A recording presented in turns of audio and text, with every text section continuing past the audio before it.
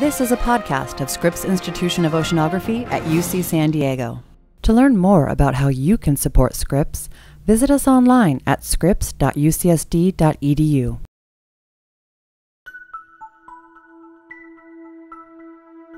The oceans move about one third of the planet's surface heat from the equator to its poles, and scientists have long been eager to understand how they do it.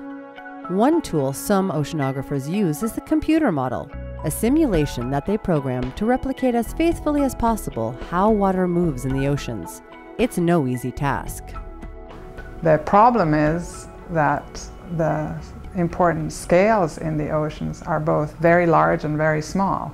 So you have to be able to have something very large but with fine details, and that is very difficult to do because it takes a lot of memory and computer time, at least from the modeling perspective. Also, from the understanding point of view, it's difficult to understand both the very large scale and the small scales and how those two um, interact. But Scripps oceanographers Paola Cessi and Christopher Wolfe have taken advantage of the power of supercomputers to create one of the most sophisticated models ever of the Atlantic Ocean. The model recreates the motions of swirling ocean currents called eddies. Eddies are tens to hundreds of kilometers in diameter, small in relation to the entire ocean, but important drivers of ocean circulation. Cessi and Wolfe's model has produced one of the most accurate and dynamic simulations of the ocean ever that allows us to observe and, and model these swirls that even though are, they are small, they transport heat eventually from one hemisphere to the other. And so that is, I think, our contribution. I don't think anyone has done a calculation with uh, such high resolution and for an extended period of time. Cessi and Wolfe used the model to show that climate change could make the oceans move in different ways. They discovered that polar ice cap melting could create a seesaw effect, as the vast pools of freshwater deposited from ice sheets in Antarctica and Greenland change how salty Atlantic seawater flows within a major circulation component called meridional overturning circulation, and how the ocean transports heat. One or the other could come to dominate and control the speed of Atlantic circulation. The thing that controls the strength of the overturning circulation is essentially the or the, the range of densities that are shared between the northern uh, North Atlantic and the Southern Ocean. So basically, you have this window right now in the Southern Ocean where there's there's a patch of surface water which has got the same density roughly as the, the water that is sinking in the northern hemisphere, and that gives a, a way to connect those two points through a, a circulation which goes through the deep ocean.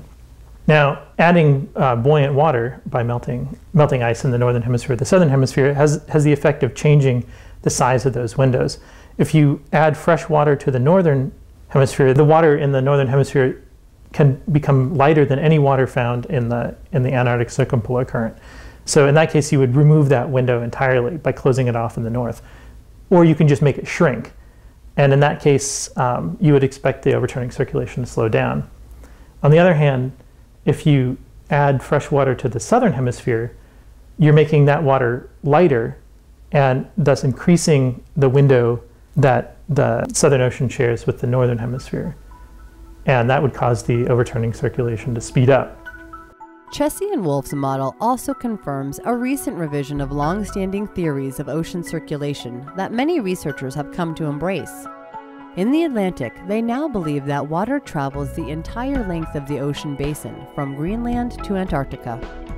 The realism of the model also suggests that the changes brought about by melting ice caps could happen within a few generations, rather than over millennia. The overturning circulation uh, carries a lot of heat northward in the North Atlantic and, and is basically res- is responsible in part for the temperate climate in the Northern Hemisphere.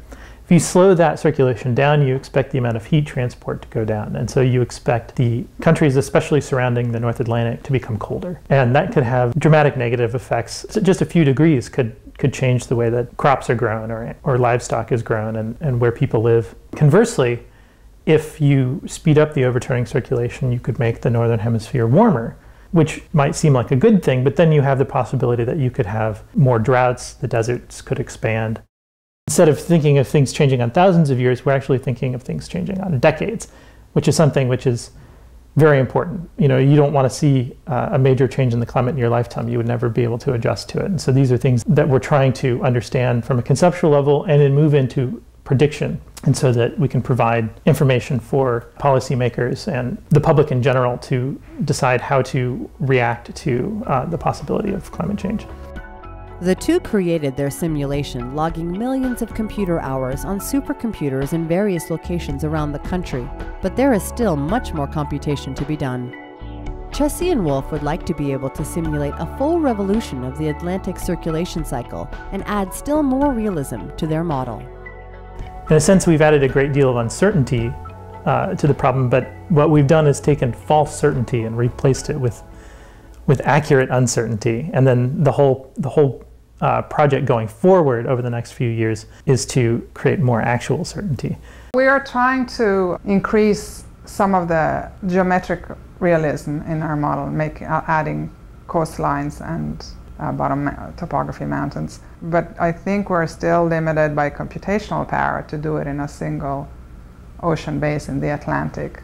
Ideally, you would want to have a global ocean at our resolution, but I don't think that the computer power yet is there and probably won't be there for another 10 or 20 years, but who knows? Maybe someone will come up with a brilliant idea and to make faster chips that use less energy and we will be able to do it sooner.